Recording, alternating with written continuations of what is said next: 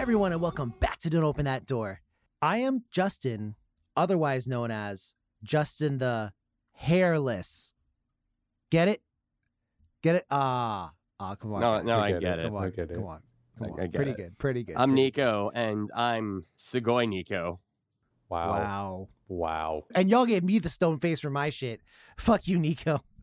Well, I'm Dan, the man in a cup. and we are here today to review Kwaidan So this was directed by Masaki Kobayashi, starring Rentaro Mikuni as the samurai from the first tale, Michiyo Aratama as the first wife from the first tale as well, Keiko Kishi as Yuki from the Yuki Onna story, Katsuo Nakamura as the titular Hoichi, and last but not least, Osamu Takizawa as the author from the last story in A Cup of Tea. So, Kwaidan is an anthology that is basically broken down into four separate stories. Our first story, Kurokami, translated as The Black Hair, begins with a samurai who lives with his wife. Unfortunately, the couple live in poverty as the man's lord has basically fallen into ruin and he wants more out of life. Fair play. So he leaves his like super devoted wife for a new one who's from a very important family and he takes a position of importance under a new lord. As time goes on, though, he kind of begins to regret his decision to leave his old wife. I mean, his new wife is like really cold to him. She even like smacks him up a couple times. And after, you know, serving time at his new post, he ends up running back to his old wife. He finds her and they enjoy a night together. But unfortunately, when he wakes up the next morning, he finds that his wife is actually not there. She's just a corpse. He tries to leave the house, but he keeps aging, getting older and older and older. And after finally escaping, he's attacked by his wife's black hair. The end of that story. But Dan, I want you to tell me about the second story. I feel like it's a little more sensual. I guess. Second story is called Yuki Onna, which is translated as the woman of the snow. And it opens with a log cutter named Minokichi, who has been caught in a brutal blizzard along with an older logger. Yes. The pair find a cabin where they hunker down, but the old man is killed by a Yuki Onna, a spirit. Mm. She takes pity on Minokichi and says that she will spare him so long as he never speaks of the incident to anyone. And he agrees. So the next day, Minokichi is rescued, and after recovering, he goes back to cutting trees. One day, he meets a beautiful woman named Yuki traveling on the road to Edo. He invites her to stay the night with him, but, you know, one thing leads to another, and the two end up getting married and have a few children. In one day. nah. One day before New Year's, Minokichi stitches sandals for Yuki, and in the candlelight, he notices that she looks oddly like the Yuki Onna from all those years ago. He relates the story to her, and a blizzard rocks the cabin. Mm. Yuki reveals herself to be the Yuki Onna, but says that she will spare him for the sake of their children. She leaves, and Minokichi is heartbroken. He puts her sandals outside, and they're taken by the blizzard. Well, a little little heartbreak, I guess, in that second story. Nico, how's our third tale go with Hoichi the Airless? Feels bad, man, but uh, we'll see. Our third tale, then, Hoichi the Earless, tells the story of, predictably, Hoichi, who is a young man and is blind, but very much has his ears at this point. And he's very skilled at playing the biwa. It's like a Japanese string instrument, kind of similar to like a, a koto, if you will. Not a koto. I'm thinking of samisen, 100% samisen, not a koto. Anyway, Hoichi lives at a temple and is not a monk. And one night he's visited by a spirit of the Taira clan that was defeated by the Minamoto clan years ago. Not knowing that he's speaking to a ghost because, you know, he's blind, Hoichi heads out with the spirit to his spirit's lord and he recites the tale of the Heike, which details the downfall of the Taira clan. And I believe we also get a sort of like a recitation of that starting off this particular Yeah. film, don't we? Yeah, that's him. Yeah, yeah, yeah. Yeah. So that's cool to just see again. He does this a couple nights in a row, staying out all a night, which arouses the suspicions of the temple attendants. So one rainy night, at the orders of the temple priest, the attendants head out to find Hoichi playing and singing in a graveyard of all places. Realizing that he's been bewitched, they take him back to the temple, kicking and screaming. He is like, No, you can't possibly take me away from this royal audience. Uh, you know, like, they'll have your heads for this, and etc. The temple priest explains the situation to Hoichi, though, and he orders one of his acolytes to cover Hoichi with the Heart Sutra, which Mm. will render him invisible to the spirits.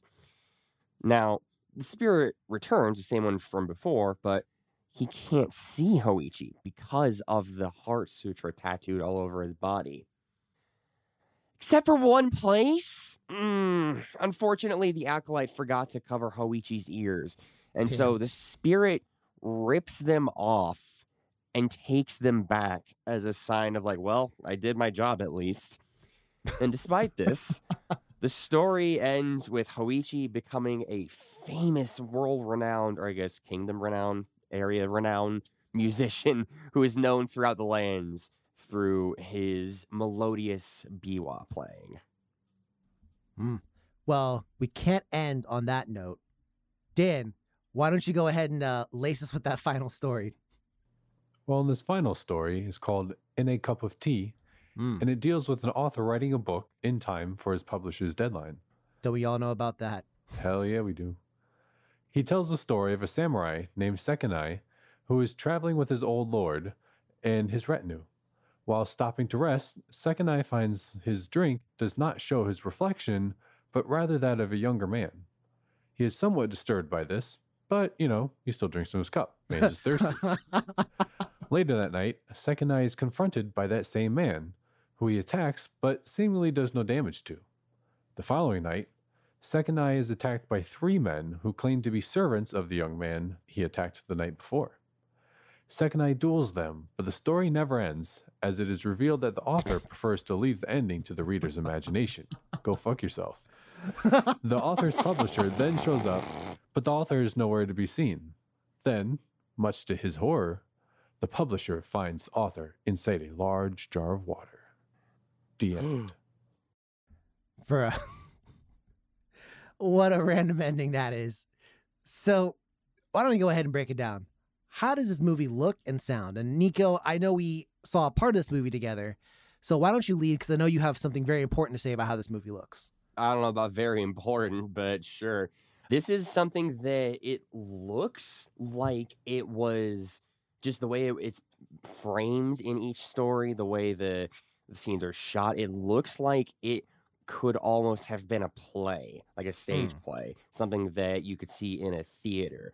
Per like the blocking of the the characters and just how they were framed in any particular sort of setting, it really had a sort of air of grandiosity that elevated a lot of the scenes, even if they were a little bit more, say, pedestrian or something. Like even the first story we have, where it's largely taking place in just maybe like two rooms and the outdoors, like it still felt like there was a sense of gravitas just from how it looked.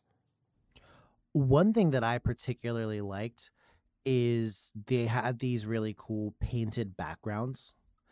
And because they were using those backgrounds instead, it allowed them to do some really cool things. Like you could have like a really illustrative sunset. You could have in the story of the Yuki Onna, there was like eyes and stuff in the background. It looked fucking cool, man. I think those in particular look better than, you know, even like some kind of shitty effects from old movies where they maybe use some type of, you know, they tried to do some kind of like fake shit. Like in this one, like, yes, it's very clear it's a painting, but it still looks dope. So I It's liked it. Pretty surreal, and it fits with the yeah, sort of like thematic content of it all. exactly, exactly, exactly. Dan, what you got to say about the looks? I mean, I was pretty much going to say the same thing. I mean, I think that the stage, if you will, looks Yeah. kind of fake because it does look like it's a filmed It version of does. a play or theater. Mhm. But I mean, you know, I was okay with that. But the backgrounds that Justin mentioned, like in the Yuki Onna story, the sky, that they, they've got like eyeballs in the sky and shit, that looked really cool. yeah, Or in the um, Hoichi story, when he's telling the tale, like the background is all like vibrant orange, like sunset kind of thing. Mhm. That was really, really cool. So I, I actually really like those painted backgrounds. How'd you how'd you feel about the sounds though? I thought they were interesting. Sometimes I was kind of off with it. I didn't really like it. Sometimes I liked it quite a bit. I actually liked Hoichi's playing. I thought that was kind of cool playing the biwa. And then I think it was in the Yoki or Yuki Onna story, I believe, there were some really cool, I don't know, strident string sounds that were sort of not the traditional Western horror strident Mm. string sounds. None of this was Western. right, right. But I mean, it, it achieved the same kind of effect and sounded similar, but it wasn't quite what I was used to hearing. And that Yeah. was, I thought, really cool. I, in particular, I guess talking about Hoichi, like I was a really big fan of. They actually took the time, and I knew from the start what they were doing, like the recitation of you know the battle between the Taira clan and the Minamoto clan. Like, I thought like that was really cool. He might have recited a, like a couple passages more than I initially would have liked, but You don't want to hear the whole thing? Well, it's apparently uh, we got spared because he literally says he's like, yeah, there's actually like a hundred parts to it, and he's like, there's also like secret parts to it. Yeah. yeah, fucking like apocryphal verses and shit like I that. was like, yo, They got fucking OVAs and shit added. they there. do, yo, they do though. So I liked, you know, that, and I guess for a Japanese audience, particularly in the '60s. That might not have been something, you know, so out of the ordinary to them. Like that might have been something they might have heard before. But for They would certainly be more familiar with these folk tales than we are. Well, yeah, exactly. But I mean, like, because I know that kind of singing is often is also sometimes used in like traditional stage plays as well. Like Mhm. the narrator may do that type of voice as well to like explain what's happening or something else like that.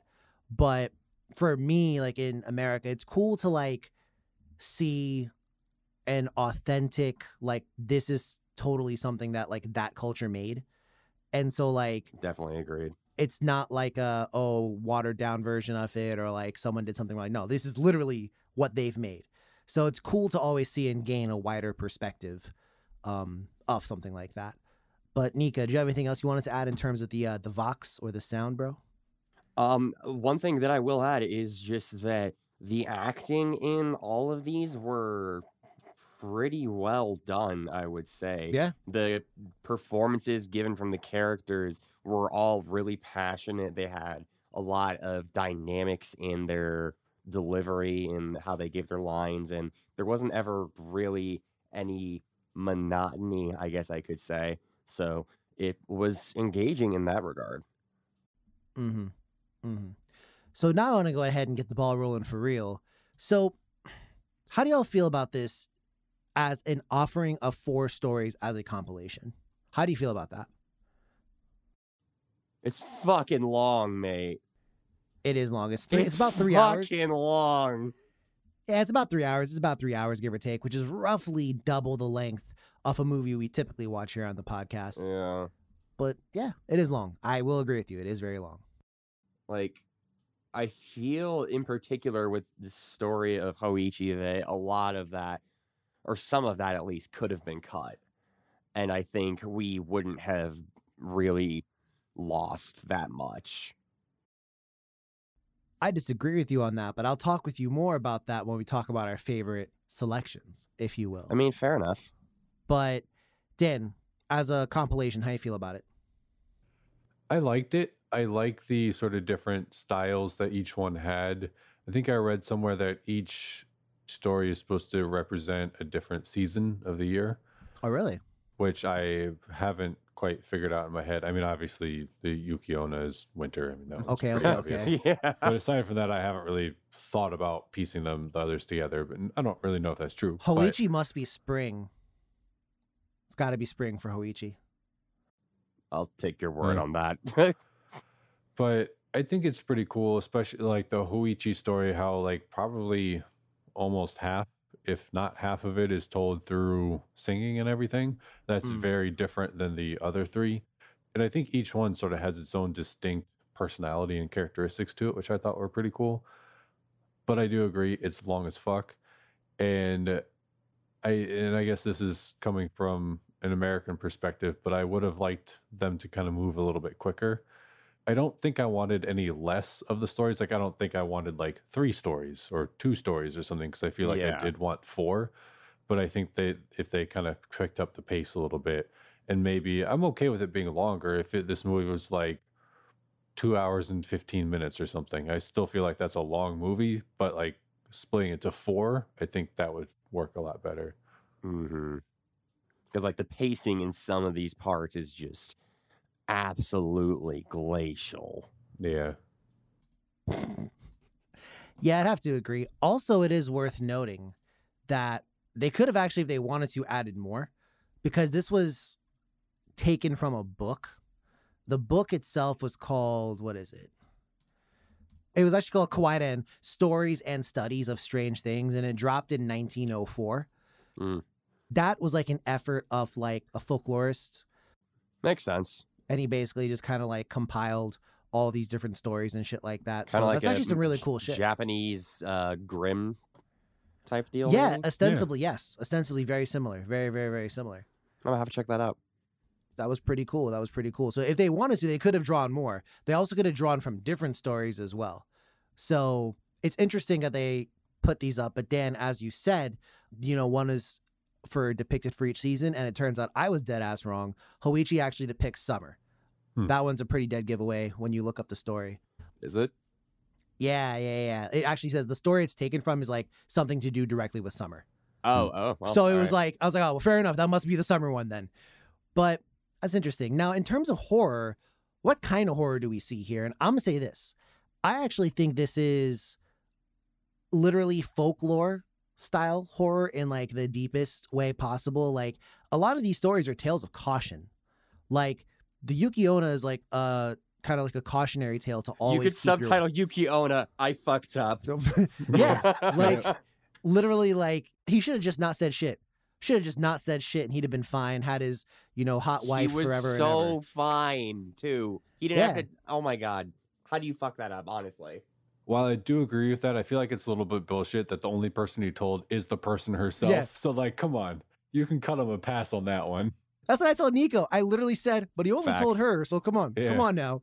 And to be fair, she prompted him. She's like, "Oh, what do you mean?" Yeah. And that's when he continued.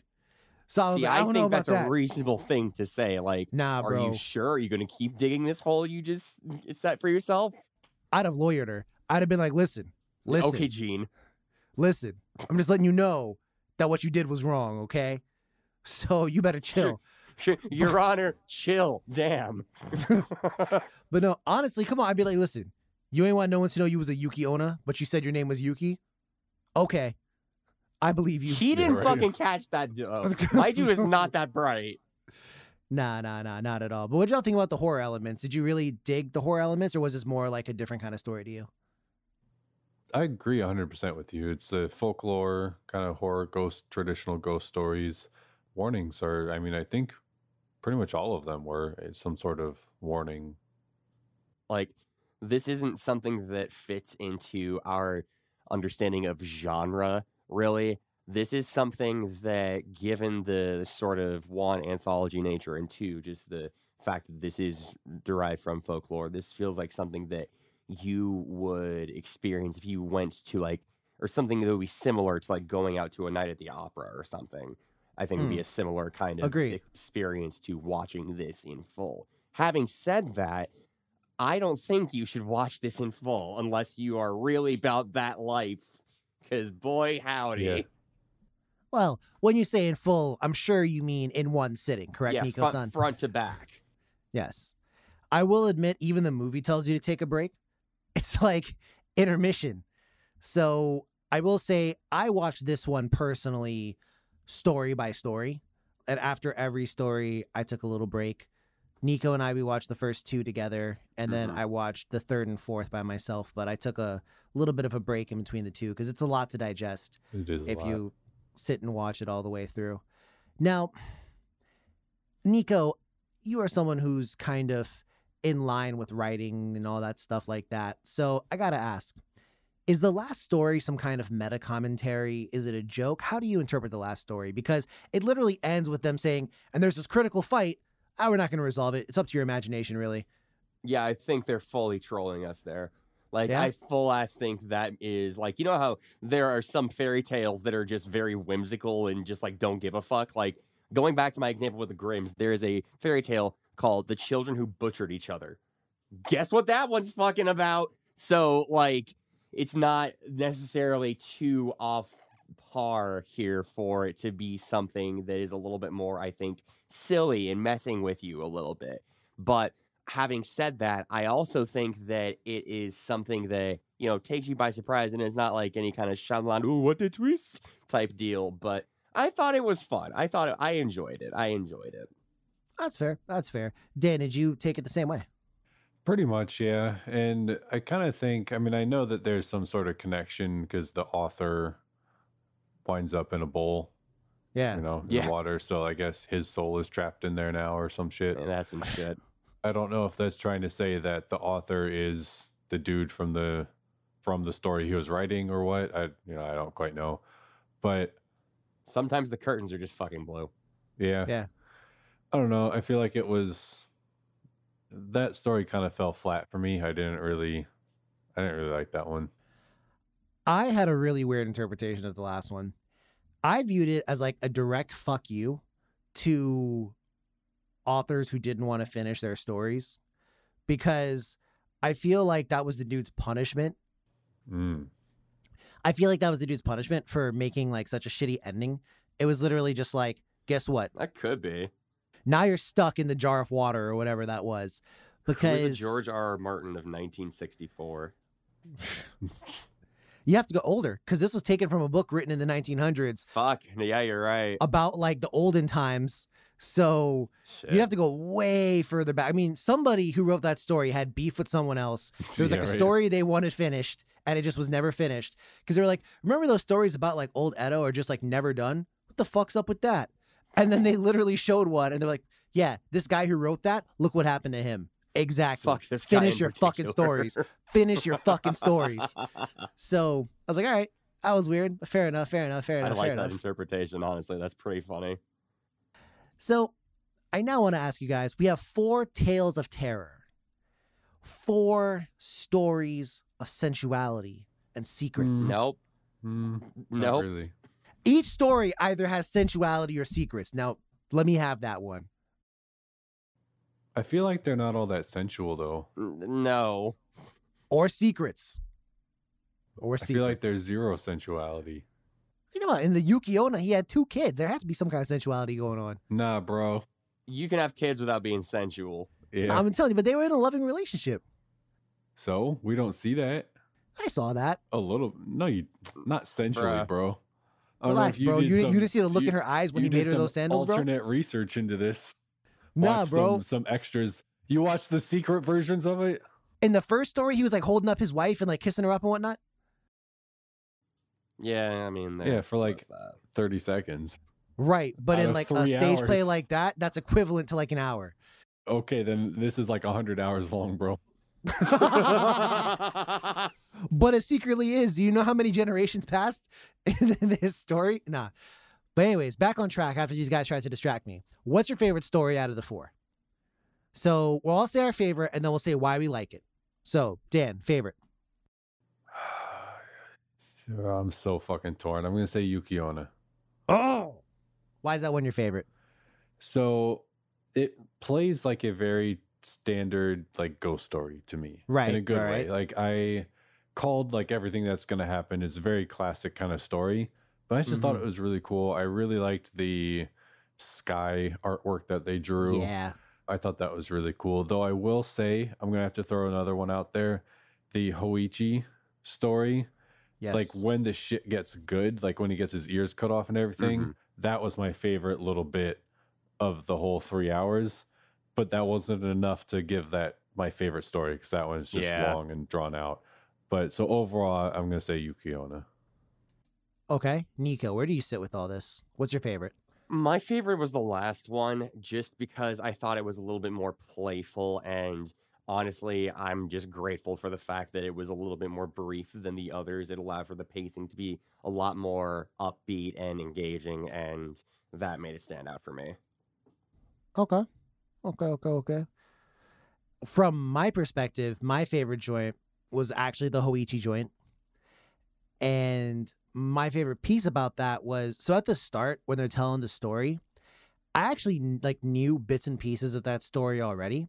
And all I know was, yo, when they were like, yo, it's Yoshitsune over there, I was like, oh shit, yo, Yoshitsune is about to fuck up like all your shit. Did you know play that as from Yoshitsune in Dynasty. Dynasty Warriors? yeah, there you go. Yeah. Nah, nah, nah. Dynasty Warriors is feudal, is ancient uh, China. Yoshitsune is actually in Samurai Warriors. So oh, fuck y'all. my bad. Hey, Yeah. hey, yeah. Also has some um, Chinese stories in there too. So fuck you. Hey, fair enough. Fair not enough. Fair not, enough. Fair not enough. the movie. I don't think, but the book. the I actual book, the book. But yeah, like also Yoshitsune didn't do shit in, in, in the movie. Like the one dude was like, Yoshitsune, I'm gonna fuck you up. And then literally like the dude's guards just like jumped him instead. Yeah. And I was like, oh shit. But I liked it because it was like an actual I just love the pacing of it because the rest of this movie to me was so goddamn slow that to me Yeah. Hoichi was like actually it was also slow, but there were things happening. Like every scene something happened. Like for me, I thought of it that way. Like Hoichi's there. Some people talk about like we saw the whole like the beginning piece was the slowest piece. It took a little bit to get started because they had the whole fight between the Taira clan and the Minamoto clan. But then afterwards, I liked it. It was pretty chill. It was pretty chill. So, was there any story that particularly invoked your ire? Any story that you particularly didn't like? Yeah, the, the Hoichi one because I could feel my gray matter dying as I was watching it. Really? Wow. Dan? Not particularly. The first one, maybe, though I don't really feel all that strongly about it. It just didn't like do much for me. The one I liked the least was the first one as well. I kind of echo your thoughts. I thought personally that one was not the one to like set out to hook the viewer. Hmm. I would have put Yuki Onna first personally, Yeah. just because I feel like that's a easier to digest story, and it, the pacing in that one is a little bit better, I think. But all that to say, it's time for the what would you do. Now, I might be asking, how the hell, what kind of what would you do could we possibly do? Well, it's going to be a little bit simpler. If you had to put each of us, which of these four stories fits the three of us the best? So, for example, Hmm. which story fits Nico the best, Dan? I can see one of two, personally. I can see one of two. I No feel goddamn like idea. Am I about to get my ears ripped off? yes, because Fuck. I feel like a spirit which just lead you away, and like Justin would just troll you, and he'd be the spirit leading you away, and then somebody'd be like, "Bro, Nico, you're being trolled," and you're like, "Oh, damn it." I, I was gonna say like I could see it just because like Nico would be chilling in like a temple one day and there'd be like a ghost like, Are you trying to jam? I mean, sure. yeah. Yes. Well, Let's, you wanna go jam fucking throw night? down, bro. At my place. All of a sudden, like we see you like jamming in a graveyard. We're like, oh shit, we gotta stop this. We gotta put a cease to this. Now keep in mind, Hoichi lost his heirs, but he could still hear. Which Yeah. good Yeah. on him. Good Yeah. on him. All right, now let's go ahead and give the return retribution for Dan. Where's which story is Dan in? Which one is he? I feel like of the three of us, Dan is the one who would be most likely to somehow end up in a blizzard out in the middle of nowhere. so I'm gonna say Yuki Onna is where you Fair end enough, up. fair enough, fair enough, fair enough.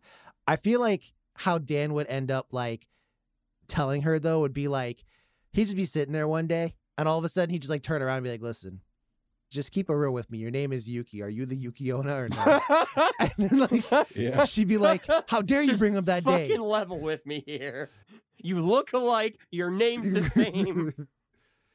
He's like, listen, like it just doesn't make any sense. So Does that make our kids half ghosts? Like, how does this work? That's what I was thinking the whole time. I was like, "So what's going on with the kids?"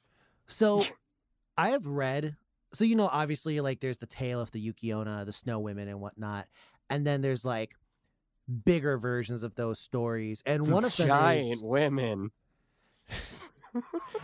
one of them is that, you know, they lure men to their village to like sleep with them so they can get like pregnant and stuff like that and have kids. And then they'll like keep the daughters because the daughters become like snow women and they'll like get rid of the sons to like Are send them to a the village or something snow like that. bunnies? Jesus H. Christ. Well, No, he wasn't there for sure.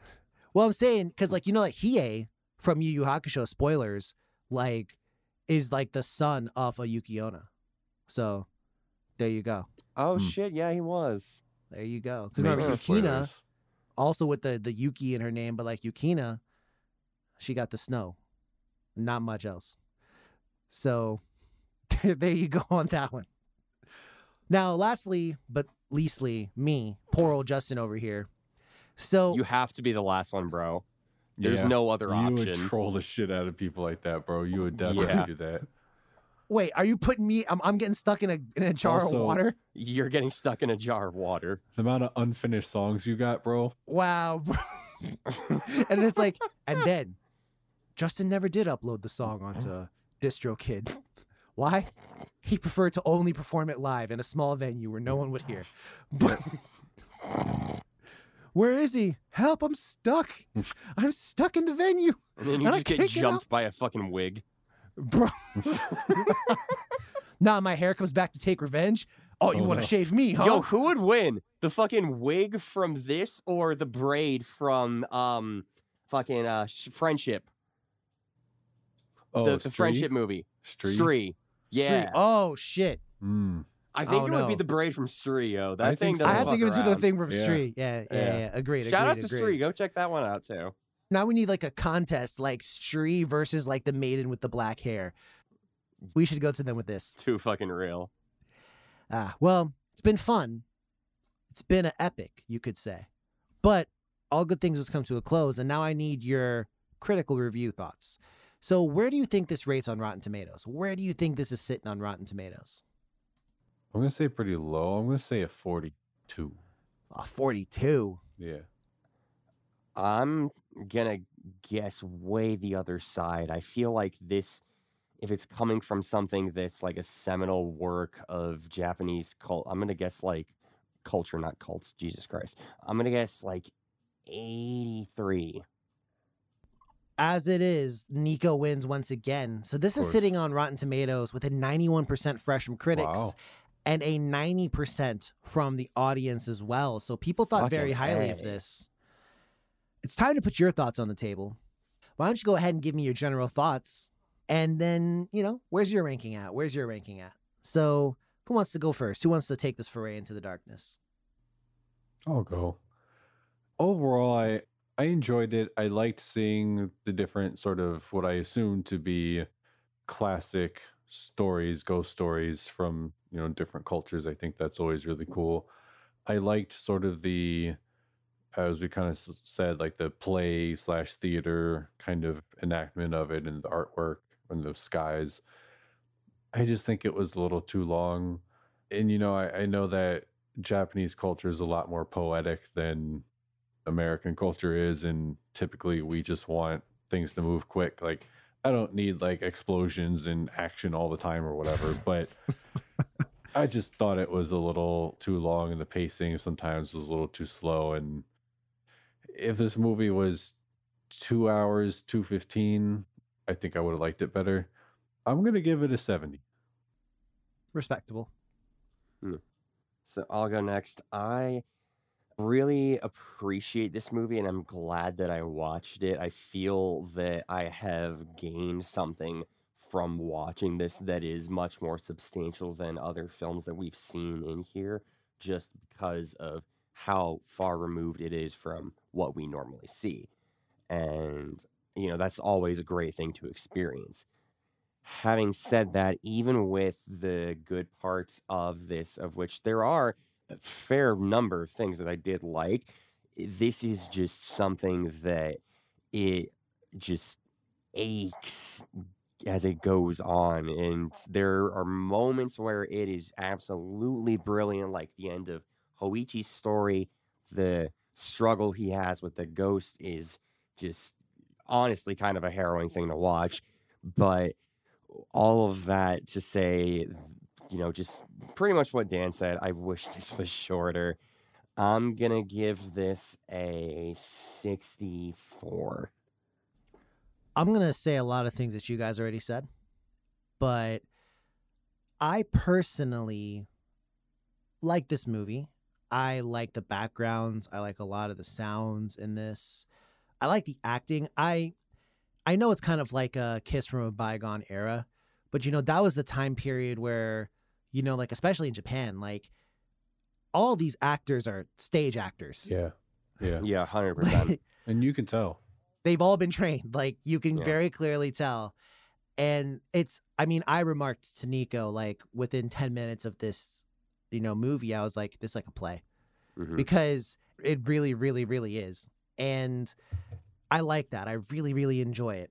My criticism lies largely with the pacing. And I realize this is me speaking from a modern context and a Western one as well. But I do feel like, not that I necessarily needed any of the stories to be shorter per se. In fact, personally, I feel like they could have dressed up the Yuki Onna story a little more, and that could have maybe stood on its own or even Hoichi, that Yeah. could have stood on its own as Yeah. well, you know? Like there's like two different routes to go and like some of these are just like the decision to release them as a single compilation where you could have just cut it in half though, right? Like Yeah. it could have been like Kwaidan Volume 1 and then Kwaidan Volume 2. And each one Sure. could have been an hour and a half long. I mean, it's kind of like a joke that the last story is only 20 minutes long because if they'd all been just 20 minutes long that would have been great. But the pacing just really really really confuses me and again, maybe the intended audience were those audiences that were used to stage plays so they were used to being in there for the long haul and they were used to that level of like action or whatever. But I'm speaking from 2022. I can't speak from, you know, 1960s or whatever else like that. So for me, this is getting a 75. I liked it a lot. It just the holy shit, the pacing. And I always talk about the pacing on a lot of movies we watch, but this one in particular, like really just like stabbed me. Like I had to force myself to get through parts of this. Yeah. Dan even remarked in a, our group chat. Was it when you just started the first one, or had you started the third one, Hoichi's story? I was about halfway through Hoichi's story. Oh, okay. Yeah, so Dan texts us, I underestimated, I overestimated my ability to pay attention to this. Yeah. Which like you don't want to have that happen in a movie, but eh, it is what it is. That's very true. But now it's time to put all our chips on the table. Would you recommend this movie to others? I'm not sure. Like I'm glad that I watched this. I definitely gained a lot by watching this, but I struggle to think that the average person would jam with this as much as we do. I want to recommend it. I don't know if Then I do can. it, you coward. Yeah, to the average person, I'm gonna say no, I don't. But I have a coworker that we talk about horror stuff all the time, and I'm gonna recommend it to him. So, the right person, right mindset, sure, but average viewer, probably not. Yeah, and you know what? I am gonna take this and knock it up to a, recommend because I, I think that you should see stuff that exposes you to other cultures in a sort of I don't know that you would call this a vacuum, but just like in a very authentic way, just for the chance to experience those different things you wouldn't get to otherwise. So actually, despite all this, yeah, I'm, I am gonna recommend it. I say yes, but with one big caveat. You treat this like it was like American Horror Story or something else like that, and you watch each part as if it's like it's each individual episode. And seriously, watch it in chunks. Yeah, like watch it in chunks, and your enjoyment will skyrocket. I enjoyed the last two way more than I enjoyed the first two because I didn't force myself to do it, like even though I said I did, but like I really chunked it up, and that made it so much better. So that's how I would recommend you watch it. And if you do watch it like that, I can give you a recommend. But also, as we said, you know, like get cultured, you scrubs. So yeah. But all that to say, it's not getting the golden seal though, is it? Uh, All right. Well, if you disagree with us and want to call us, you know, Western pigs, feel free to do so. We're on Twitter and Instagram at DOTD Horror. We're also on Facebook. Don't open that door. Plus, you can catch everything we've done on our website. That's DOTDHorror.com. But till then, keep yourself safe. Look out for one another. And as always, dear listener, don't open that door. Bye.